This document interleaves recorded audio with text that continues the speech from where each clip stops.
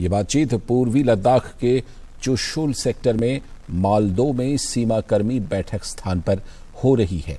माना जा रहा है कि इस बैठक में भारतीय पक्ष पैंगोंग त्सो और गलवान घाटी में यथास्थिति बहाल रखने पर ज़ोर देगा, ताकि 5 मई को दोनों पक्षों के बीच हिंसक झड़प के बाद चीन की ओर से बनाए गए अस्थायी शिविरों को हटाते हुए तनाव में धीरे धीरे कमी लाई जा सके।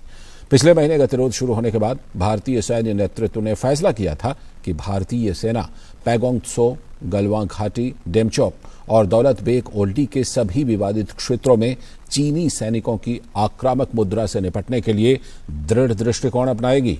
भारत और चीन के बीच तीन हज़ार चार सौ अठारह यात्रा 2020 के लिए जमा कराए गए पैसों को वापस करने का फैसला लिया है।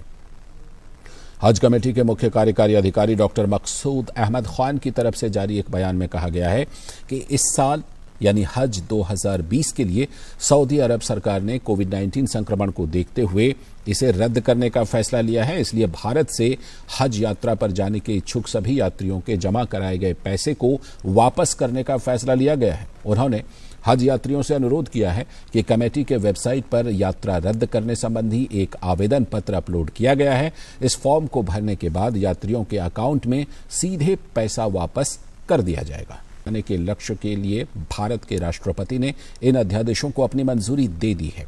सरकार ने कृषक उपज, व्यापार और वाणिज्य संवर्धन एवं सुविधा अध्यादेश 2020 को अधिसूचित किया। इसका लक्ष्य किसानों को राज्य के भीतर और अन्य राज्यों में अपनी पसंद के बाज़ार में कृषि उपज को बेचने की छूट देना है।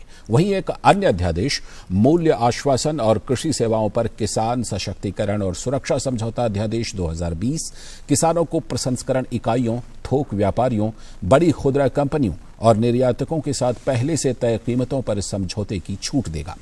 कृषि मंत्री नरेंद्र सिंह तोमर ने सभी मुख्यमंत्रियों को पत्र लिखकर इन सुधारों को सफल तरीके से लागू करने में सहयोग करने के लिए कहा है। उन्होंने नए सुधारों के परिवेश में कृषि क्षेत्र के विकास और वृद्धि में उनके लगातार समर्थन की आवश्यकता पर ज़ोर दिया। केंद्र सरकार ने ज़ोर देकर कहा है कि किसानों को बेहतर दाम वाले अपनी पसंद के बाज़ार में उपज बेचने का विकल्प